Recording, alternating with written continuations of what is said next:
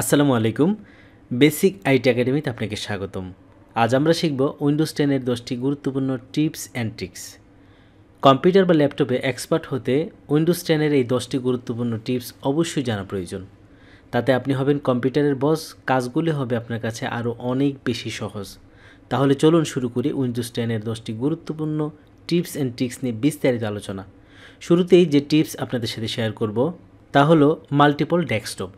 Computer বা ল্যাপটপের মধ্যে আমরা যদি মাল্টিপল ডেস্কটপ ওপেন করে কাজ করতে চাই, ধরেন আমরা এখন যে ডেস্কটপটি দেখতে পাচ্ছি বেসিক আইটি একাডেমি লেখা, এটা কিন্তু আমরা যেটা কাজ করতেছি একটা। কিন্তু আপনি যদি চান এরকম আরও অনেকগুলো ডেস্কটপ ওপেন করে কাজ করতে পারবেন। যেমন এখানে আমি কী কী ইউজ করছি দেখেন। এখানে হচ্ছে আমি এখানে কামটাসি ইউজ করছি, তারপর এখানে একটা ব্রাউজার ওপেন করা আছে, তারপর এখানে রেকর্ডিং সফটওয়্যারটি ওপেন করা আছে। আমি যদি চাই এখানে আরও অনেকগুলো সফটওয়্যার ওপেন করে রাখতে পারি। আপনি যদি চান আরও অনেকগুলো ডেস্কটপ একসাথে ওপেন করে কাজ করতে, তখন কিন্তু আপনি প্রত্যেকটা আলাদা আলাদা ডেস্কটপে আলাদা আলাদা সফটওয়্যার ওপেন করে রাখতে পারবেন। আপনি যদি চান যে এখানে কামটাসিয়া চালাতে, আরেকটা উইন্ডোজ ওপেন করে সেখানে আপনি অডোবি প্রিমিয়ার প্রো চালাতে, অথবা আরেকটা উইন্ডোজ ওপেন করে সেখানে এম এস ওয়ার্ড চালাতে, আমরা কিন্তু সেই কাজটা খুব সহজে করতে পারি। যেমন আপনি যদি চান যে একটা কাজ আপনি করছেন, কিন্তু আপনার ফ্রেন্ড এসে দেখল যে আপনি অন্য কাজ করছেন মানে কাজটা আপনি কি তাকে দেখতে দিচ্ছেন না, আপনি লুকিয়ে রাখতে যাচ্ছেন, কিন্তু সে দেখল যে আপনি উইন্ডোজে ঠিকই আছেন, এখানে অন্য কোনো কাজ নেই। এই যে দেখতে পাচ্ছেন বামে একটা অপশন রয়েছে, টাস্ক ভিউ। আমি যখন এখানে ক্লিক করে দিব, তখন আমাদের সামনে একটা উইন্ডো চলে আসবে বা একটা পেজ চলে আসবে। এখানে দেখেন নিউ ডেস্কটপ নামে একটা অপশন রয়েছে, প্লাস দিয়ে। আমি যখন এই প্লাসে ক্লিক করব, তখনই কিন্তু আরেকটা ডেস্কটপ আমাদের সামনে চলে আসবে। আমাদের সামনে যে ডেস্কটপটা এখন ওপেন করা আছে, সেখানে আসলে যে কাজগুলো আমরা চালু রেখেছি, সেগুলো দেখা যাচ্ছে। একটা ব্রাউজার তারপর হচ্ছে একটা সফটওয়্যার তারপর হচ্ছে রেকর্ডিং সফটওয়্যার সেগুলো। তো আমরা যদি নতুন একটা ডেস্কটপ নিই, এই যে নিউ ডেস্কটপ আমি এখানে যখন ক্লিক করে দিব, তখন দেখেন ডেস্কটপ টু নামে আরেকটা পেজ চালু হয়ে গেল। এটা হচ্ছে আমাদের প্রথম ডেস্কটপ এটা হচ্ছে ডেস্কটপ টু তো আমি যখন এখানে ক্লিক করে দেব, এই ডেস্কটপটা দেখুন একদম ফ্রেশ এখানে কিন্তু কোনো সফটওয়্যার ওপেন করা নাই। আমরা কিন্তু এর আগের ডেস্কটপে বেশ কয়েকটা সফটওয়্যার ওপেন ছিল। তো এখানে যদি আমি ধরেন এম এস ওয়ার্ডটা চালু করি, আমি এই যে এম এস ওয়ার্ডে ক্লিক করে দিলাম, আমি এখান থেকে ব্ল্যাঙ্ক ডকুমেন্টে ক্লিক করে দিলাম। তো এই ডেস্কটপে কিন্তু এই এম এস ওয়ার্ড চালু করা আছে, ঠিক আছে? তো আমি যদি আগেরটাতে দেখতে যাই যে ডেস্কটপ ওয়ানে কী আছে, আমি এই যে টাচ ভিউতে ক্লিক করে দিলাম, এখান থেকে যদি আমি ডেস্কটপ ওয়ানে ক্লিক করি, দেখেন এখানে কিন্তু এক, দুই, তিনটা চালু আছে, ঠিক আছে? আর যদি আমি এখান থেকে টুতে ক্লিক করে দিই, এই যে টু তখন দেখেন এখানে শুধু এম এস ওয়ার্ড কিন্তু চালু আছে, বাকিগুলো কিন্তু চালু নাই, ঠিক আছে? তো আমি যদি চাই যে না, আমি আরেকটা ডেস্কটপ নিব, এখানে আবার চলে যাব টাচ ভিউতে যখন ক্লিক করে দেব, এই নিউ ডেস্কটপের মধ্যে আমি আবার ক্লিক করে দেব, তখন কিন্তু ডেস্কটপ থ্রি ওপেন হয়ে গেল। আমি যখন এখানে ক্লিক করে দিলাম, তখন দেখেন এখানে কিন্তু অন্য কোনো মানে সফটওয়্যার বা অন্য কোনো অ্যাপ্লিকেশান এখানে ওপেন করা নাই। এখানে ধরেন আমি এখান থেকে নোটপ্যাডটা ওপেন করে দিচ্ছি। তো আমি এখান থেকে নোটপ্যাডটা সামনে নিয়ে আসলাম। তো এখানে কিন্তু শুধু নোটপ্যাড ওপেন করা আছে। আর এই যে দেখতে পাচ্ছেন রেকর্ডিংটা এটা আসলে সব জায়গায় চালু থাকবে, কারণ এটা কিন্তু রানিং মানে এটাতে আসলে কাজ করতেছি, সেটা তো লুকিয়ে রাখা যাবে না। সেজন্য এটা কিন্তু এখানে দেখা যাচ্ছে। তো আমরা যদি আলাদা আলাদা ডেস্কটপ ওপেন করি, আলাদা আলাদা ডেস্কটপে কিন্তু আলাদা আলাদা সফটওয়্যার বা অ্যাপ্লিকেশন বা ফোল্ডার ওপেন করে যে কোনো কাজ করতে পারি, প্রত্যেকটা কিন্তু আলাদা আলাদা। একটা ডেস্কটপের সাথে আরেকটা ডেস্কটপের কিন্তু কোনো মিল নেই। আপনি প্রত্যেকটা ডেস্কটপে আলাদা আলাদাভাবে আলাদা আলাদা সফটওয়্যার কাজ করতে পারবেন, ঠিক আছে? আমরা যদি চেঞ্জ করতে চাই, এই যে টাচ বিয়েতে চলে যাব এবং এখান থেকে আরও অনেকগুলো ডেস্কটপ আমি নিতে পারব। এটা কিন্তু ডেস্কটপ ফোর এবং দেখেন এখানে কিন্তু এটা একদম ফ্রেশ কেউ যদি এসে দেখে, দেখবে যে আমি কোনো কিছুই করি না এখানে। জাস্ট আমি যখন এখানে চেঞ্জ করে দেব যে ডেস্কটপ ওয়ান টু থ্রি আমি যদি আবার ডেস্কটপ ওয়ানে ক্লিক করে দিই, তখন কিন্তু এখানে তিনটা সফটওয়্যার ওপেন করা আছে সেটা এখানে দেখাবে। তো আপনি যদি চান, এখান থেকে অনেকগুলো ডেস্কটপ আলাদা আলাদা ওপেন করে কাজ করতে পারবেন।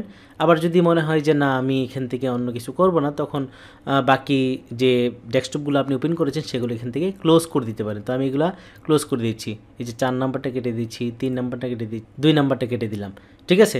তো এখন কিন্তু আবার আমাদের একটা যে ডেস্কটপ সেটাই চলে আসছে। এখানে দেখেন যেগুলো ওপেন করা আছে সেগুলো দেখাচ্ছে। এবং আরেকটা বিষয় হচ্ছে এখানে যে এই যে নিচের দিকে গেলে আমরা কিন্তু মানে হিস্টোরি পাবো।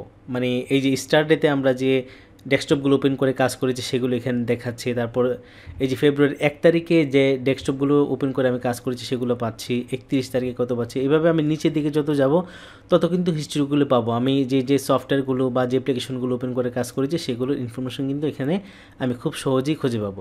এই যে দেখতে পাচ্ছেন এখানে জানুয়ারি আঠাশ তারিখে আমি যে ইউটিউবের যে থামনিলটা তৈরি করেছি, সেটা কিন্তু এখানে দেখাচ্ছে ফটোতে আমি যদি চাই যে এটা ওপেন করতে, আমি যখন এখানে ক্লিক করে দেবো, তখন কিন্তু সাথে সাথে ওই ছবিটা এখানে ওপেন হয়ে যাবে। যে কাজটা আমি মানে আঠাশ তারিখে করেছিলাম, সেটা কিন্তু আমি এখান থেকে খুঁজে পাচ্ছি। মানে আমি কিন্তু এই কাজটা শেষ করে আঠাশ তারিখে কেটে দিলাম। মানে এখানে যখন আপনি এই যে টাস্ক ভিউতে যাবেন এবং কিন্তু এখান থেকে যে পূর্বের যে ইনফরমেশনগুলো এখান থেকে আপনি খুঁজে পাবেন এবং সেটা কিন্তু একদম নিচে যখন যাব, একদম জানুয়ারি চার তারিখ পর্যন্ত কিন্তু হিস্টোরি এখানে রয়েছে। তো আশা করি আপনারা খুব সহজে মাল্টিপল ডেস্কটপের কাজটা করতে পারবেন।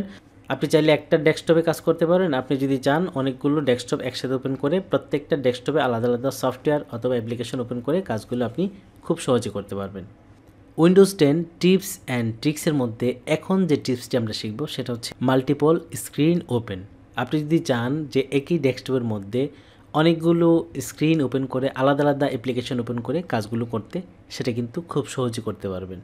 সেটা করার জন্য শুরুতেই আমরা একটা এমএস ওয়ার্ড অ্যাপ্লিকেশন ওপেন করে নিচ্ছি। আমি এমএস ওয়ার্ড ওপেন করে নিলাম।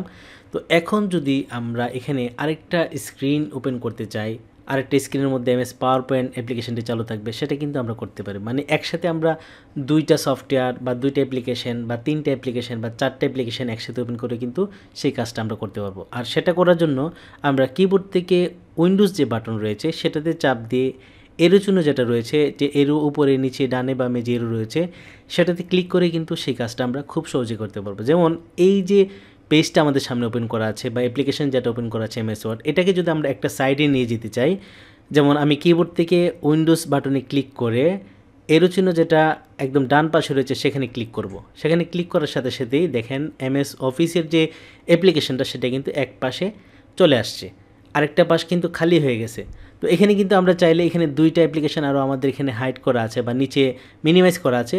আমি চাইলে এই দুইটা অ্যাপ্লিকেশন এখানে ওপেন করতে পারি। চাইলে এখানে সেটা ওপেন করতে পারি। চাইলে গুগল ক্রোম ব্রাউজারটি কিন্তু ওপেন করতে পারি। এবং আমি যদি চাই যে না, আমি এগুলো ওপেন করব না, আমি নতুন করে একটা অ্যাপ্লিকেশন ওপেন করব। যেমন আমি যদি এখানে M S PowerPoint open করতে চাই, আমি সার্চ অপশনে চলে যাই এবং এখান থেকে এম এস পাওয়ার পয়েন্ট যে অ্যাপ্লিকেশন রয়েছে সেটাতে ক্লিক করে দিলাম।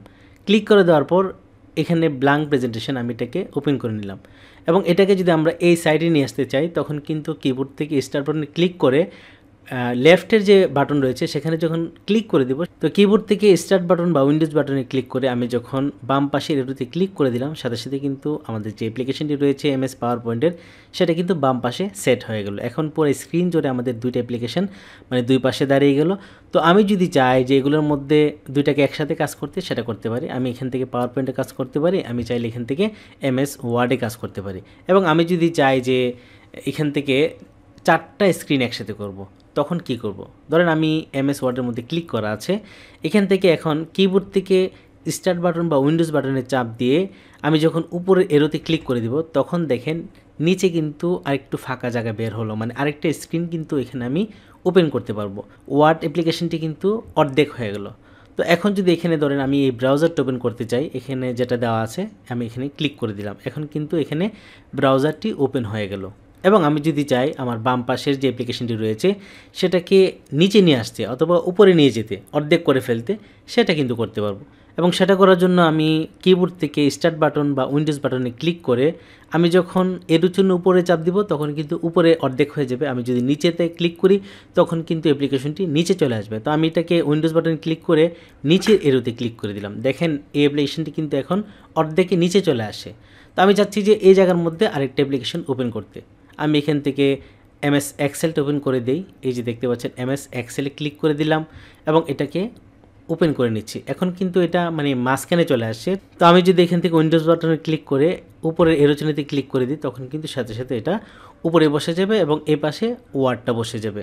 তো এখন দেখতে পাচ্ছেন, আমি কিন্তু এখানে চারটা স্ক্রিন একসাথে করতে পেরেছি। একটা হচ্ছে এম এস এক্সেল একটা হচ্ছে এম এস ওয়ার্ড তারপর হচ্ছে এম এস পাওয়ার পয়েন্ট তারপর হচ্ছে ব্রাউজার তো এখান থেকে যে স্ক্রিনটাকে আমরা বড় করতে চাই, সেটা বড় করতে পারব। আমরা যদি চাই বাকিগুলো কেটে দিয়ে শুধু দুটা রাখব, সেটাও করতে পারব। এবং একটাকে যদি বড় করতে চাই, ধরেন আমি এখানে এমএস ওয়ার্ডটাকে বড় করে দেখতে চাই, তখন যখন আমি কিবোর্ড থেকে স্টার্ট বাটন বা উইন্ডোজ বাটনে ক্লিক করে, এই এরোচনাতে ক্লিক করে দিব, তখন দেখেন এটা কিন্তু বড় হয়ে যাবে। এই যে বড় হয়ে গেল। আবার যদি ছোট করতে চাই, এই উইন্ডোজ বাটনে ক্লিক করে কোন পাশে নিতে চাই, সেভাবে আমি সেট করে দিলেই কিন্তু এটা ছোট করে বসা যাবে। জাস্ট উইন্ডোজ বাটন ক্লিক করে যে পাশে নিতে চান বা যেভাবে ছোট করতে চান, ঠিক সেইভাবে এর চিহ্নগুলোতে ক্লিক করলে কিন্তু ওইটা ওইভাবে পাশ পাশ হয়ে যাবে। তো এখান থেকে যদি আমি এমএস ওয়ার্ডটা রেখে এমএস এক্সেলটা কেটে দিই তারপর এখান থেকে পাওয়ার পয়েন্টটা কেটে দিই। এখন যদি আমি চাই দুইটা স্ক্রিন রাখতে, সেটাও করতে পারব। আবার যদি মনে করি যে না, শুধু একটা স্ক্রিন রাখব, সেটাও কিন্তু করতে পারব।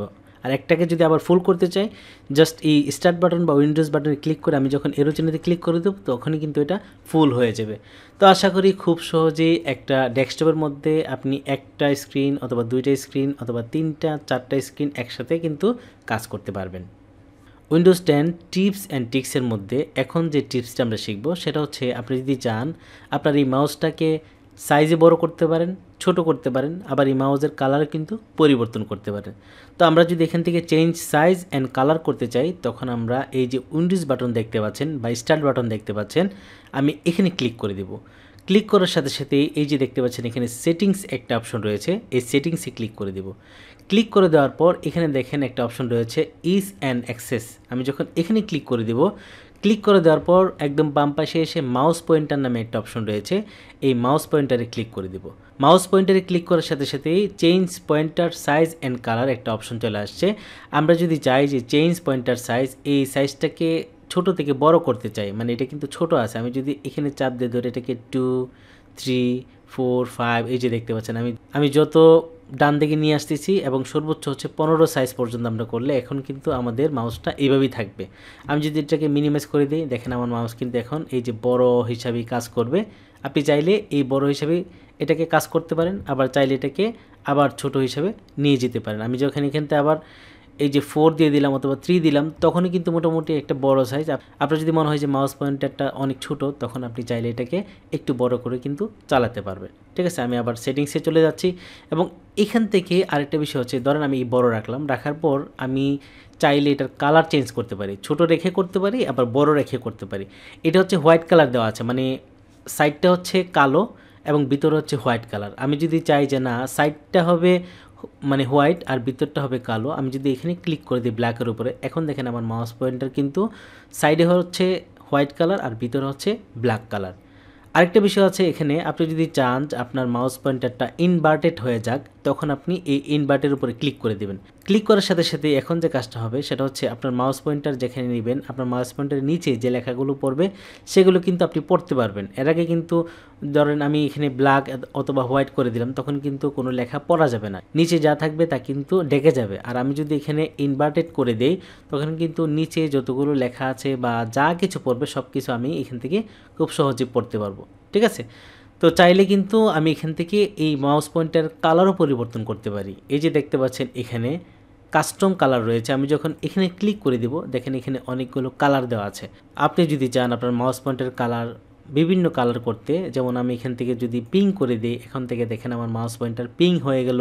এখান থেকে যদি আমি পার্পেল করে দিই, তাহলে পার্পেল হয়ে যাব। আমি যদি এখান থেকে ইয়েলো করে দিই, দেখেন এখন কিন্তু ইয়েলো হয়ে গেল। এটাকে যদি ছোট করে দিই আমি, ধরেন আমি এখান থেকে এই যে থ্রি দিয়ে দিলাম। আমি যদি এখান থেকে এটাকে মিনিমাইজ করে দিই, এখন দেখেন আমার মাউস পয়েন্টার কিন্তু ইউলো কালার হয়ে আমি যেখানে নিচ্ছি সেই কালারটা এখানে কাজ করছে। তো আশা করি খুব সহজেই আপনারা মাউস পয়েন্টারকে ছোট, বড় বা কালার পরিবর্তন করে এই কাজগুলো এখান থেকে খুব সহজেই করতে পারবেন। তো আমি এটাকে আবার ওয়ানে নিয়েছি, অথবা টুতে দিয়ে দিলাম মানে একটু বড় রাখতে চাই এবং কালার যদি চাই সেটা থাক, আমি ইয়েলো কালার দিয়ে রাখি এখন। আমি এটাকে কেটে দিচ্ছি। তো আশা করি খুব সহজেই আপনারা মাউসের যে সাইজ ছোট বড় করতে পারবেন এবং কালারও এখান থেকে খুব সহজে করতে পারবেন।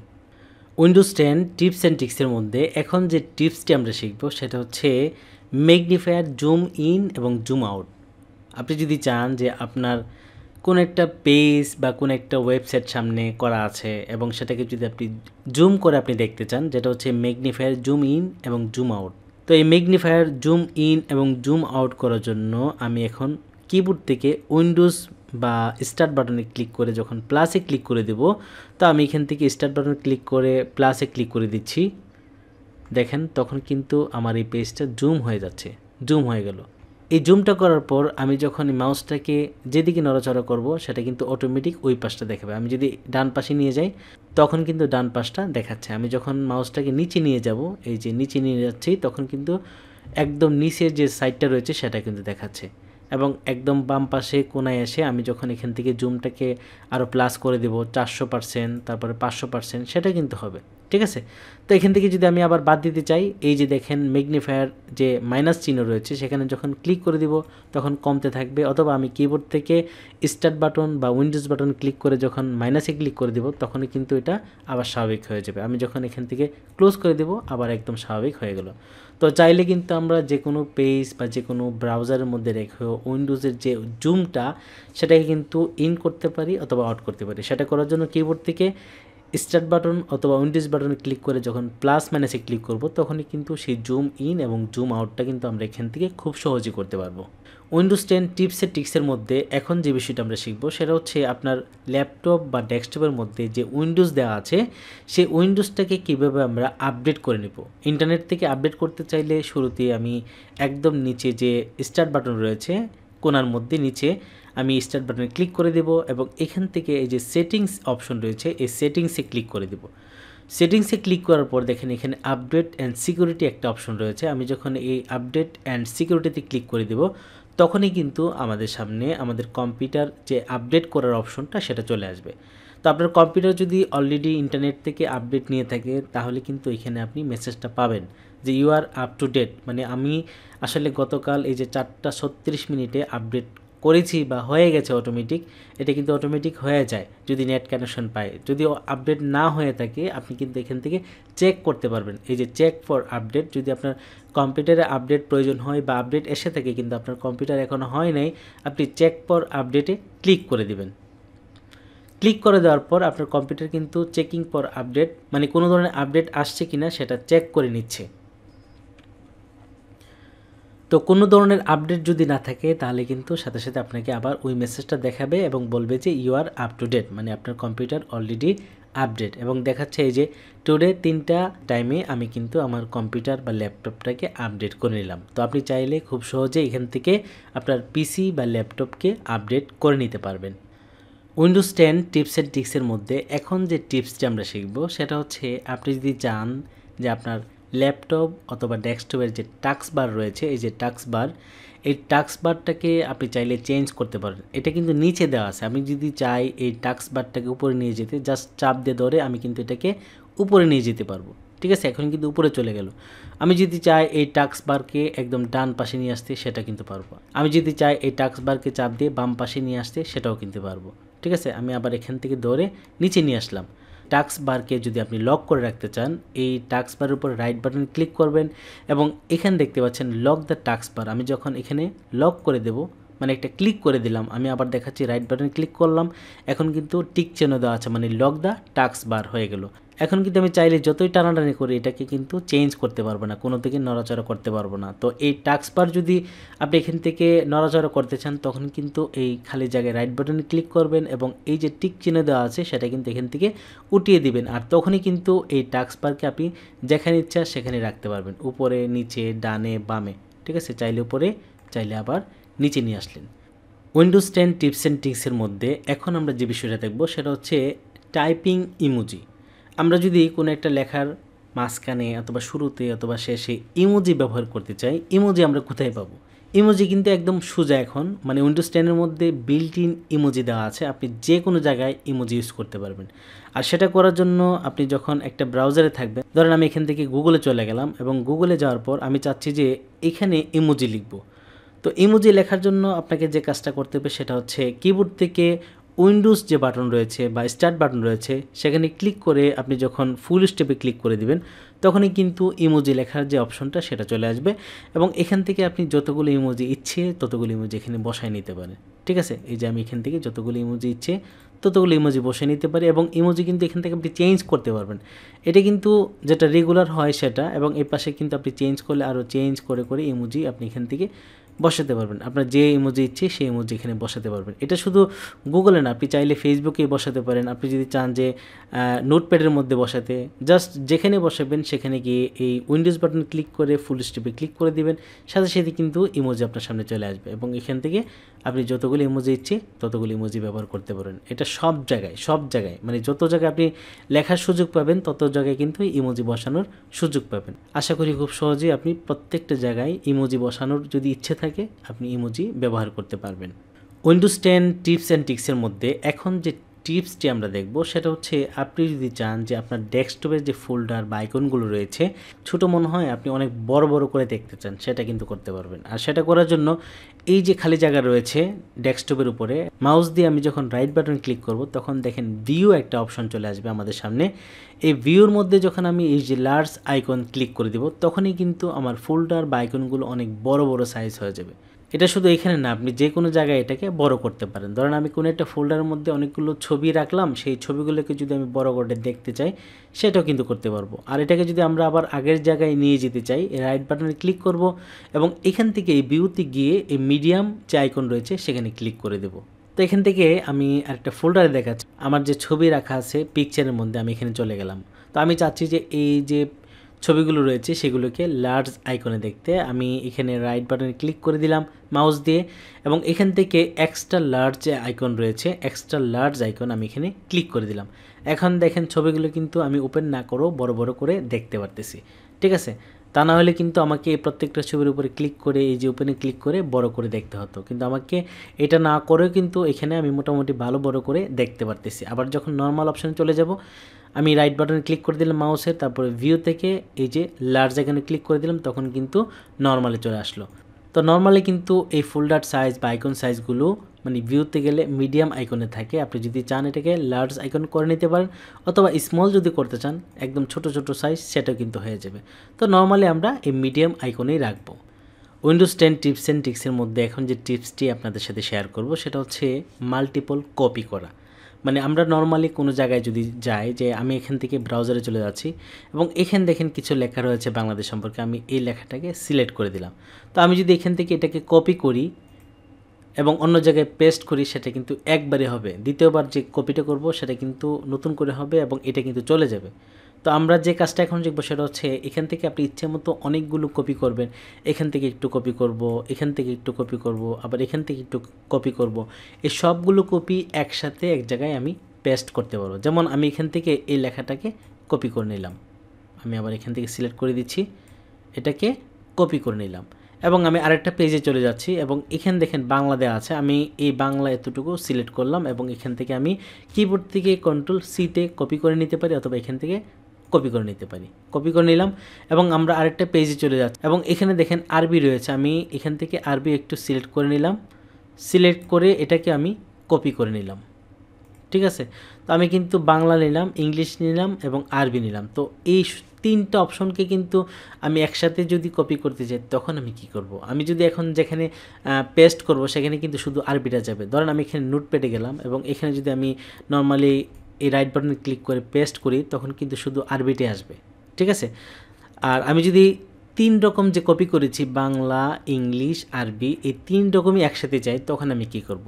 আর সেটা করার জন্য আমি ধরেন এম এস ওয়ার্ডে চলে গেলাম এবং এখানে যাওয়ার পর আমি যে কাজটা করব সেটা হচ্ছে কিবোর্ড থেকে উইন্ডোজ বাটনে ক্লিক করে ভিতে ক্লিক করব। উইন্ডোজ ভি যখন ক্লিক করব, তখনই দেখেন আমাদের সামনে আমি যতগুলো কপি করেছি, সবগুলো ক্লিপবোর্ড হয়ে আমাদের সামনে চলে আসলো।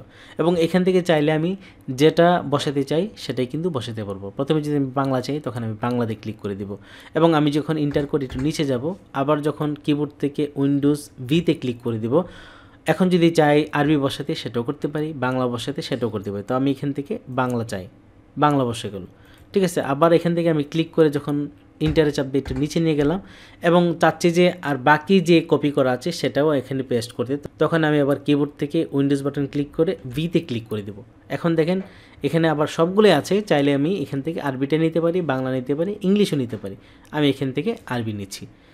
তো দেখেন, খুব মজার একটি বিষয়, আমি কিন্তু একসাথে অনেকগুলো কপি করলাম এবং সেই কপিগুলো এম এস ওয়ার্ডে এসে প্রয়োজন অনুযায়ী যেখানে আমার আরবি দরকার সেখানে আরবি বসাতে পারব, যেখানে বাংলা দরকার সেখানে বাংলা বসাতে পারব, যেখানে ইংলিশ দরকার ইংলিশ বসাতে পারব। মানে ক্লিপবোর্ডের মধ্যে প্রত্যেকটা কপি সেভ হয়ে চলে আসলো। আমার যখন যতটুকু দরকার বা যে লেখাটা দরকার সেই লেখাটা কিন্তু আমি খুব সুন্দর করে পেস্ট করতে পারব। এটা হচ্ছে মাল্টিপল কপি বলা হয় এটাকে multiple copy Windows ten tips and টিক্সের মধ্যে এখন যে টিপসটি আমরা শিখব, সেটা হচ্ছে আপনি যদি উইন্ডোজ টেনের মধ্যে কোনো একটা কাজ করতে যান বা কোনো একটা ইনফরমেশান আপনি মানে লেখালেখি করেন অথবা কোনো একটা কাজ করেন, সেই ইনফরমেশনটাকে যদি আপনি মানে স্ক্রিন রেকর্ড করে রাখতে চান অথবা স্ক্রিন শট নিয়ে রাখতে চান, সেটা কিন্তু কোনো ধরনের অ্যাপ্লিকেশন ছাড়াই উইন্ডোজ টেনের মধ্যে আপনি করতে পারবেন। সেটা করার জন্য আপনি কিবোর্ড থেকে কোনো একটা কাজ করার সময়, ধরেন আমি এখান থেকে আমি একটা ব্রাউজার ওপেন করে নিচ্ছি, ঠিক আছে? তো এখানে আমি ব্রাউজ করব হয়তো, আর সেটা যদি আমি চাই যে আমি একটু স্ক্রিন রেকর্ড করতে তখন আমি কিবোর্ড থেকে উইন্ডোজ বাটন এবং জিতে ক্লিক করে দেব। আমি যখন উইন্ডোজ প্লাস জিতে ক্লিক করে দেব, তখনই আমাদের সামনে এই যে রেকর্ড করার একটা অপশন চলে আসবে। এই যে দেখতে পাচ্ছেন এখানে মানে স্টার্ট রেকর্ডিং আমি যদি কিবোর্ড থেকে উইন্ডোজ অল্টার আর ক্লিক করে দিই, তখনও কিন্তু রেকর্ড শুরু হয়ে যাবে এখন এবং চাইলে এখান থেকে আমি স্ক্রিন ক্যাপচারও করতে পারি। ঠিক আছে? আমি দুইটা কাজ করতে পারি। ধরেন আমি এখানে রেকর্ডিংয়ে ক্লিক করে দিলাম। রেকর্ডিংয়ে ক্লিক করে দেওয়ার সাথে সাথেই দেখতে পাচ্ছেন ক্যাপচারে স্ট্যাটাস আমি যে কাজটা করব, এখানে কিন্তু সেটা রেকর্ড হচ্ছে। তো আমি যদি এখান থেকে এই যে উপরে যাই, নিচে যাই মানে যে কাজটা করব, সেটা কিন্তু রেকর্ড করতে চাইলে আমি এখান থেকে খুব সহজেই রেকর্ড করতে পারব কোনো ধরনের অ্যাপ্লিকেশন বা সফটওয়্যার ছাড়াই। কারণ উইন্ডোজ টেনের মধ্যে এটা কিন্তু ডিফল্ট যে সফটওয়্যার দেওয়া আছে। তো আমি যদি এটাকে স্টপ করতে চাই, এই যে দেখতে পাচ্ছেন এখানে স্টপ রেকর্ডিং আমি যখন এখানে ক্লিক করে দিব এবং এখান থেকে যদি আমি ক্লিক করে দিই, তখন কিন্তু আমার রেকর্ডটা এখানে দেখতে পারব। আমি যদি এখান থেকে প্লে করি, তখন কিন্তু আমার যে রেকর্ডটা সেটা প্লে হচ্ছে, দেখতে পাচ্ছেন? তো আমি চাইলে শর্টকাট যে কোনো বিষয় বা কোনো একটা কাজ যদি করতে চাই, সেই কাজটাকে চাইলে আমি শর্টকাট বা ছোটোখাটো আকারে আমি এটাকে সেভ করে রাখতে পারব। সেটা কোন জায়গায় পাবো? এই যে দেখতে পাচ্ছি ওপেন ফাইল লোকেশন সেটা হচ্ছে সি ড্রাইভের মধ্যে আমি যদি এখান থেকে কন্টিনিউ করি, তখন কিন্তু সেই ফাইলটা আমাকে দেখাচ্ছে। মানে local C user PC video capture ভিডিওর মধ্যে ক্যাপচার নামে একটা ফাইল রয়েছে, সেই ফাইলের মধ্যে কিন্তু আমি যতগুলো মানে স্ক্রিন রেকর্ড করব অথবা স্ক্রিনশট নেব, সেটা কিন্তু এখানে সেভ হয়ে যাবে। তো আশা করি আপনারা খুব সহজেই উইন্ডোজ টেনের মধ্যে মানে কোনো ধরনের সফটওয়্যার ছাড়াই স্ক্রিন রেকর্ড করতে পারবেন অথবা স্ক্রিন ক্যাপচার করে এখানে রাখতে পারবেন। তো আশা করি উইন্ডোজ টেন টিপস অ্যান্ড ট্রিক্সের মধ্যে যে দশনাদের সাথে শেয়ার করলাম, সেগুলো আপনাদের কাছে ভালো লেগেছে। তারপরেও এর মাস থেকে যে টিপসগুলো আপনাদের কাছে বেশি ভালো লেগেছে, সেগুলো কিন্তু অবশ্যই আমাকে কমেন্ট করে জানাবেন। আর ওছেরে আমরা আবার উইন্ডোজ টেনের টিপস অ্যান্ড ট্রিক্স নিয়ে নতুন আরও অনেকগুলো ভিডিও নিয়ে চলে আসব। দেখা হবে নতুন ভিডিও নিয়ে। ততক্ষণ ভালো থাকবেন। আল্লাহ হাফিজ।